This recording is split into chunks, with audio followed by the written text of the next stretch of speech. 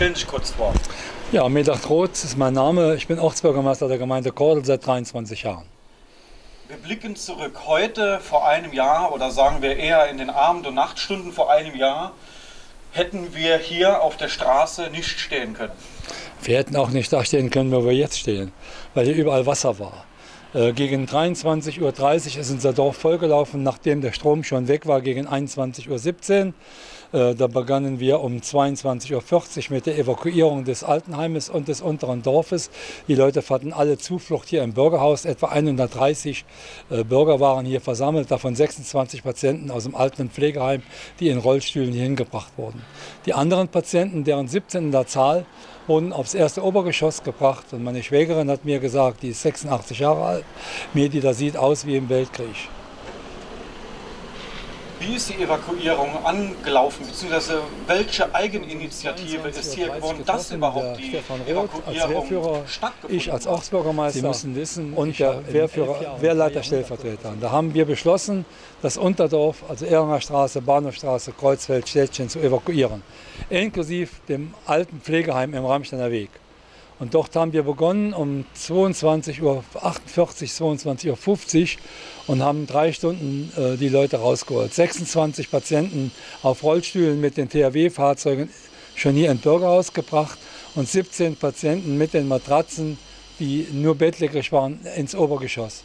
Daraufhin hat meine Schwägerin gesagt, also hier sieht es aus wie im Zweiten Weltkrieg. Die ist 86 Jahre alt, die Frau, die hat sich furchtbar erschrocken, andere auch. Ja, und dann ging das los. Um, das Dorf ist zugelaufen, um 23.30 Uhr komplett zugelaufen. Und äh, hier hatten wir etwa einen Meter, Meter 20 äh, Wasserstand. Und dann ist morgens, nachdem die Daimlinger Brücke eingekracht war und auch der Art Biberdamm, da haben sich also zu circa 100 Festmeter ähm, Weiden und Rupinien zusammen, äh, zusammengepfercht. Das war wie so Biberdamm. Da ist das Wasser dann hochgestiegen und ist dann nachher darüber weggegangen und kam hier durch diese Straße da im Städtchen am, an dem Hotel Neises am Park raus. Und als, als dieses Wasser, und die hat, das hat dann auch eine große Mauer im Kindergarten eingedrückt, die war 50 Meter lang, 2,20 Meter hoch, eine Bruchsteinwand. Und da hat die Bundeswehr mit der Evakuierung unterbrechen müssen, weil die Strömung so stark war, dass nichts mehr ging. Und hier ist das Wasser gestiegen bis 30 Zentimeter hier in den Türbereich rein. Also hatten wir fast 2,80 Meter hier Wasser drin im Keller. Wenn nicht rechtzeitig oder vorher in Eigeninitiative mit der Evakuierung begonnen wäre, dann hätten, dann hätten wir das gleiche Problem wie mein Amtskollege in Sinzig, dass dort Menschen in einem Pflegeheim gestorben sind. Und das konnten wir verhindern. Und ich bin stolz darauf, mit meiner Gemeinde, mit unserer Feuerwehr, mit den vielen freiwilligen Helfern, mit den Feuerwehren aus den Nachbargemeinden dafür gesorgt zu haben, dass dies nicht geschieht. Das ist aus meiner Sicht die größte Leistung gewesen, neben all den anderen Dingen. Und da bin ich richtig stolz drauf. Wenn Sie so jetzt von Zeit zu Zeit, nach einem Monat, nach einem halben Jahr, jetzt nach einem Jahr durch den Ort gehen, was stellen Sie fest? Was sagen die Leute Ihnen? Wie sind die Gespräche? Wie geht es voran? Oder wo hapert es? Die sagen zu mir, Bürgermeister, es wird viel versprochen und wenig gehalten. Fangen wir mal bei den Versicherungen an. Einige bezahlen, andere nicht. Ich sehe hier in dem Gebäude Schaden im Bürgerhaus mit der Feuerwehr an Gebäudeschäden rund eine Million. Es ist, man muss um jeden, um jeden Euro kämpfen, obwohl wir eine Versicherung haben mit Elementarschadenversicherung.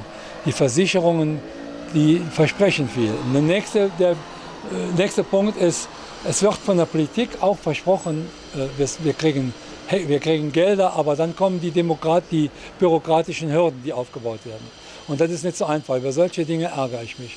Noch ein Gutachten, noch ein Gutachter führt Gutachten. Und wenn wir dann genug Gutachten haben, ist ein Jahr rum und wir haben immer noch keine Ausschreibung für unseren neuen Kindergarten. Wir haben allerdings, dafür bin ich auch wiederum dankbar, das okay von der ADD bekommen, einen Interimskindergarten mit rund 60 Containern aufzubauen, auch beim Kostenaufwand von über 1,5 Millionen.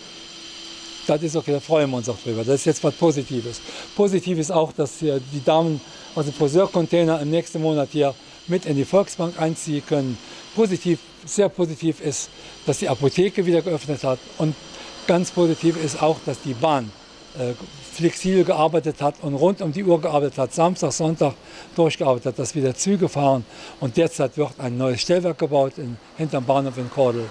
Und auch da geht es gut voran, sodass wir gute Dinge sein können, dass im nächsten Jahr wieder Züge bis nach Köln fahren.